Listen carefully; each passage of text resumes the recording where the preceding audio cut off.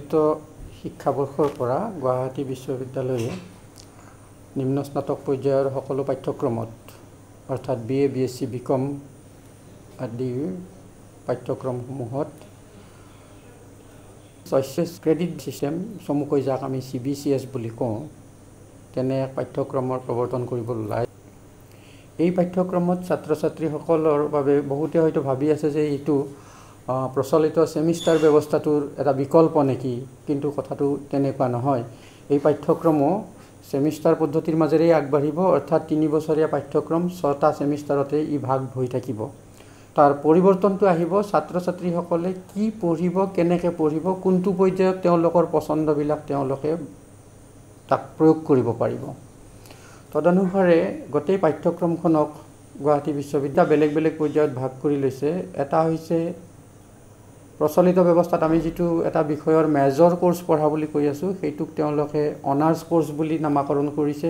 অন্য এটা পাঠ্যক্ৰম তেওঁলোকে তাৰ যিসকলে অনাৰ্ছ ক'ৰ্চ নপঢ়িব তেওঁলোকৰ বাবে প্ৰৱৰ্তন কৰিব খুজিছে ৰেগুলাৰ ক'ৰ্চ নিয়মীয়া পাঠ্যক্ৰম। আচলতে দুইটাই নিয়মীয়া গতিকে এইটো আভিধানিক অৰ্থ নহয় সেই দুইটা শব্দকে নামাকৰণ কৰা হৈছে পাঠ্যক্ৰমৰ তাৰ প্ৰকাৰ ভিত্তিক নাম। এটা অনাৰ্ছ আনটো ৰেগুলাৰ এতিয়া অনাৰ্ছ পাঠ্যক্ৰমৰ ছাত্ৰ ছাত্ৰীসকলৰ কাৰণে পাঠ্যক্ৰমখন কিছু বেলেগ আৰু ৰেগুলাৰ পাঠ্যক্ৰমৰ ছাত্ৰ ছাত্ৰীসকলৰ বাবে পাঠ্যক্ৰমখন কিছু বেলেগ। ইয়াত অনাৰ্ছত এগৰাকী ছাত্ৰ বা ছাত্ৰীয়ে তেওঁ মূল বিষয়টোৰ ওপৰত চৈধ্যখন প্ৰশ্ন কাকতৰ বা চৈধ্যটা কোৰ ক'ৰ্চ তেওঁ পঢ়িব লাগিব অধ্যয়ন কৰিব লাগিব। সেইটো কোৰ বুলি কোৱা হৈছে অৰ্থাৎ মূল পাঠ্যক্ৰম। তাৰ আনুষংগিকভাৱে ছাত্ৰ ছাত্ৰীসকলে এবিলিটি এনহেঞ্চমেণ্ট ক'ৰ্চ এটাও তেওঁলোকে পাঠ্যক্ৰম এটা পঢ়িব লাগিব যিটোত আমি সহজতে বুজিব পৰাকৈ ক'বলৈ হ'লে পৰম্পৰাগত ব্যৱস্থাটোত যিটো ইংৰাজী অসমীয়া পৰিৱেশ বিজ্ঞানৰ দৰে বিষয়বিলাক আছিল। তদুপৰি এই ছাত্ৰ ছাত্ৰীসকলৰ বাবে অন্য এটা পৰ্যায়ত এটা পাঠ্যক্ৰম আহি পৰিব সেইটো হৈছে তেওঁলোকৰ ডিচিপ্লিন স্পেচিফিক ইলেক্টিভ অৰ্থাৎ এটা নিৰ্দিষ্ট বিষয়ৰ ঐচ্ছিক বিষয় হিচাপে লৈ তাৰ পাঠ্যক্ৰম তেওঁলোকে অধ্যয়ন কৰিব লাগিব। আৰু শেষত এই ছাত্ৰ ছাত্ৰীসকলে এটা জেনেৰিক ইলেক্টিভ যিটো নিজৰ বিষয়টোৰ নহয় অন্য যিকোনো এটা বিষয়ৰ তেওঁলোকৰ পচন্দমতে তেওঁলোকে বাছি ল'ব লাগিব। চাব যদি যোৱা হয় তেনেহ'লে এই গোটেই ব্যৱস্থাটোতেই ছাত্ৰ ছাত্ৰীৰ বিষয় বাছনিৰ ক্ষেত্ৰত যথেষ্ট স্বতন্ত্ৰতা দিয়া হৈছে যিটো শিক্ষাৰ মনোবৈজ্ঞানিক বলিষ্ঠ ভেটিৰ ওপৰত প্ৰতিষ্ঠিত। ইয়াত প্ৰত্যেকটো ক্ষেত্ৰতে পৰম্পৰাৰ সলনি কিছু নতুনত্ব আনি দিয়া হৈছে য'ত আগতে এগৰাকী ছাত্ৰ বা ছাত্ৰীয়ে যিটো বিষয় পঢ়িছিল সেই বিষয়টোক লৈয়ে তেওঁলোকে আগবাঢ়ি যাব লগা হৈছিল। আজি কিন্তু এই বিষয় এই পাঠ্যক্ৰমটোত নিম্ন স্নাতক পৰ্যায়ত তেওঁলোকে অনাৰ্ছৰ উপৰিও স্কিল এনহেন এনহেঞ্চমেণ্টৰ কাৰণেও বিষয় পঢ়িব লাগিব যিটো কথা আগতে সাধাৰণ পাঠ্যক্ৰমত প্ৰসংগৰ বাহিৰত থকাৰ নিচিনা আছিল।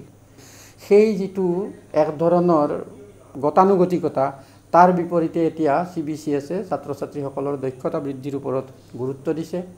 তদুপৰি ছাত্ৰ ছাত্ৰীসকলক বিষয় বাছনিৰ ক্ষেত্ৰত এই যে জেনেৰিক ইলেক্টিভ বুলি এটা বিষয় আনি দিয়া হ'ল যিটো বিষয় তেওঁৰ পচন্দ মতে তেওঁ আনকি আৰ্টছ বা কলা শাখাৰ ছাত্ৰ এগৰাকীয়ে গৈ বিজ্ঞান শাখাৰ বিষয় এটাও তেওঁ পচন্দ কৰিব পাৰে যিটো আগত সমূলি নাছিল।